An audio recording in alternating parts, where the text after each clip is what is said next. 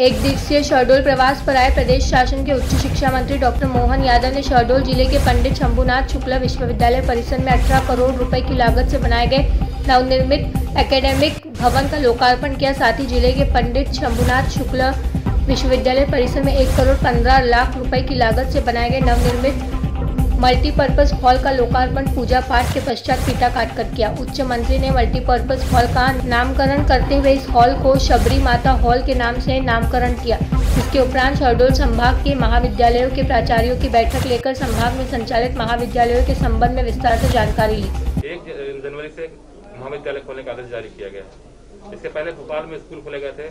सत्ताईस बच्चे जो उसके टेस्ट किया दस बच्चे कोरोना पॉजिटिव पाए गए थे। सरकार इससे कैसे निपटेगी इस महाविद्यालय खोलने के बाद अगर आपने अच्छा प्रश्न किया, मैं आपकी जानकारी के लिए बता दूँ कि हमने अपने यूजी और पीजी की जब परीक्षा कराई थी, तब भी ये प्रश्न उठा था कि पूरे देश में कहीं परीक्षा नहीं हो रही है, आप क्यों परीक्षा करा रहे हो? हमने कहा था कि हम परीक्षा भी कराएँगे और यूजीसी की गाइडलाइन का ध्यान भी रखेंगे।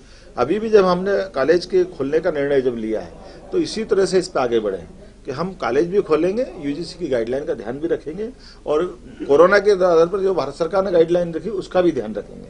आप बताइए, जिन प्रैक्टिकल कॉलेज के जो बच्चे हैं, खासकर साइंस के बच्चे, अगर हम वर्चुअल क्लास तो जो थ्योरिटिकल थ्योरिटिकल तो घर पे पढ़ा सकते हैं लेकिन जो साइंस के बच्चे उनको तो प्रैक्टिकल करना लाना ही पड़ेगा। लेबोरेटरी तक वो नहीं आएँगे तो पढ़ाई कैसे होगी?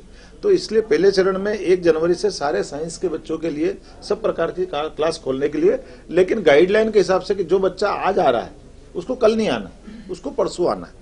तो संख्या के आधार पर एक तीन दिन में उसको दो बार आना है। तो लेकिन प्रैक्टिकल के लिए भी लैब में अपने पास पर्याप्त खुली हुई लैब है, जगह भी मिलेगी। एक तरह से हम ये उस तरफ़ ले जाना चाहते हैं। आप वैसे भी कोरोना की मृत्यु दर अगर अपन देखें या मरीजों की संख्या देखें तो देश भर में काफ़ी कम हुई है कंट्रोल भी हुई है। तो हमको जब मार्च और अप्रैल में अपना सेशन कंप्लीट करना है तो निश्चित रूप से हमको कुछ कड़क निर्णय लेना पड़ेंगे। इसी प्रकार से एक जनवरी से साइंस की सारी क्लासें खोलेंगे, दस जनवरी से यूजी और पीजी की फाइनल क्लास खाली।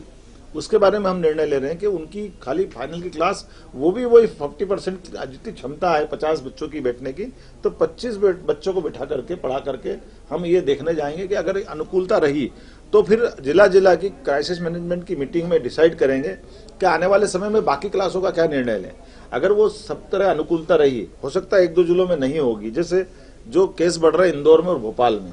तो वहाँ हमको नहीं, हो सकता वहाँ कुछ नया निर्णय लेना पड़े। लेकिन जैसे शहडोल है, उज्जैन है, या बाकी जबलपुर है, यहाँ इतने, इस तरह की स्थिति नहीं है। तो यहाँ निर्णय लेकर के हम बाकी क्लासों को भी खोलने के दिशा में आगे बढ़ेंगे।